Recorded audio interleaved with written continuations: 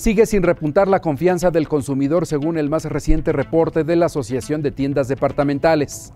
Mientras tanto, la industria automotriz nacional sigue sin despegar desde el piso de remates de la Bolsa Mexicana de Valores, una aproximación a instrumentos mixtos para diversificar utilidades. Pues bastante bajo para el inversionista. Hoy el inversionista que quiere invertir en el largo plazo, pues eh, si se va al mercado de, deuda, particularmente a las tasas de interés, eh, tiene eh, pues un nivel bastante bajo de rendimiento. Saldos de la visita presidencial a España. Grupo Maseca anticipa su incursión en Europa en el ramo de los alimentos.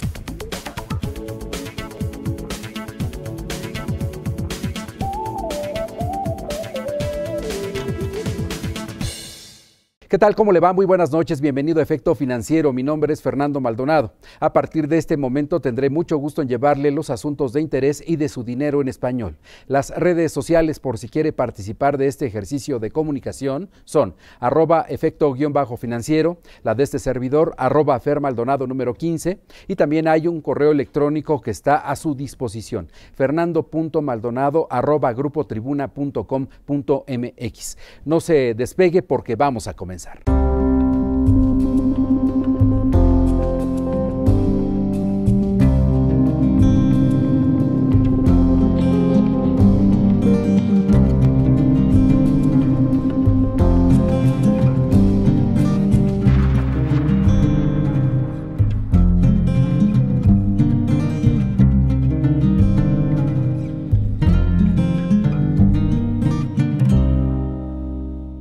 El Banco Mundial redujo por segunda vez su pronóstico de crecimiento de la economía mexicana para este 2014. De acuerdo con los cálculos del organismo multinacional, el Producto Interno Bruto de nuestro país se expandirá este año a 2.3% y no 3 puntos porcentuales como calculó hace unos meses.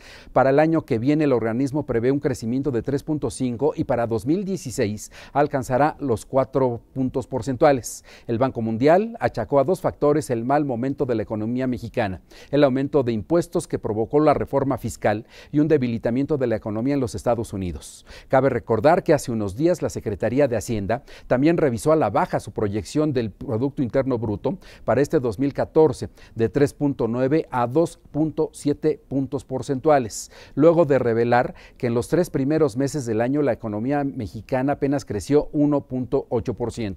En respuesta a la rebaja del Banco Mundial, el responsable de las finanzas públicas del país, Luis Videgaray, aseveró que esto refleja la desaceleración que vive la economía mundial en general y que el 2.3% está dentro del rango comparable con el 2.7% que estima la Secretaría de Hacienda. Ciertamente, la visión de la institución sobre la economía global no es precisamente la más alentadora, por lo que ajustó a la baja también su estimación mundial para este año a 2.8 desde el 3.2% en lo que veía previamente, por lo que urgió a las naciones desarrolladas a implementar las reformas internas necesarias para detonar el crecimiento necesario a nivel global. Para conocer más de estos motivos, entrevistamos a Rodrigo Rodríguez Cruz, analista de visor financiero. Rodrigo, cuéntanos qué fue lo que orilló a Banco de México a bajar su tasa de referencia. Muy buenas noches, bienvenido.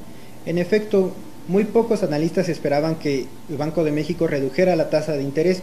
Sin embargo, hay que señalar que el contexto internacional permite este movimiento, por un lado, el Banco Central Europeo, apenas unos días antes del comunicado de Banco de México, redujo sus tasas de interés, incluso la tasa de depósito la puso en terreno negativo.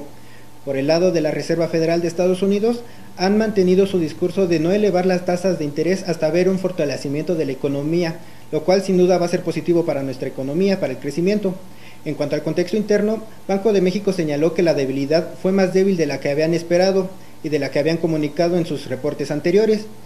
En cuanto a la inflación, este, esta variable se ha mantenido bajo control. Banco de México ha tenido una política monetaria muy efectiva ante los cambios fiscales que se realizaron y con los cuales esperaba que la inflación se ubicara en niveles cercanos del 4%.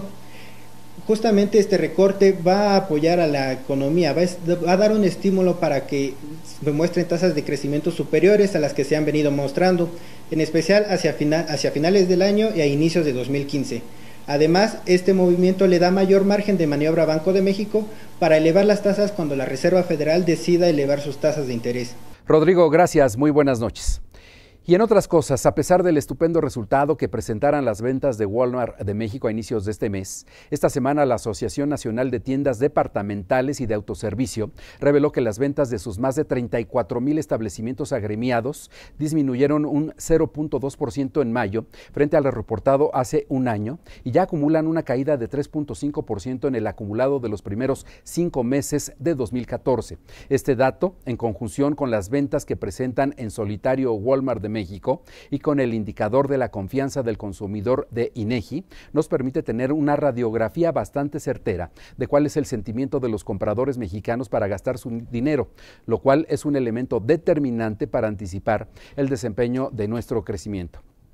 En el rubro de las ventas totales, el resultado de ANTAD da cuenta de un crecimiento de 3.9% en mayo y un ligero 0.7% de avance en el acumulado de los eh, primeros meses de este periodo. Por tipo de tienda, quienes tuvieron mejor desempeño en el periodo fueron eh, las departamentales, que crecieron un 4.5%, mientras que las de autoservicio y especializadas retrocedieron un 1.4 y 1.8 respectivamente. Aunque todavía es negativo, y refleja el pobre desempeño del consumo de nuestra economía, el cual es un componente fundamental en el desempeño del Producto Interno Bruto de manera general. Este dato de 0.2% en ventas a unidades iguales es el mejor en términos reales en los últimos 14 meses, de manera que la muy esperada recuperación económica parece finalmente estar en camino. Es tiempo de la primera pausa en efecto financiero. Les recuerdo que hay redes sociales, arroba efecto-financiero y la de este servidor, arroba Fer número 15. Vamos a la pausa no se vaya, regresamos inmediato.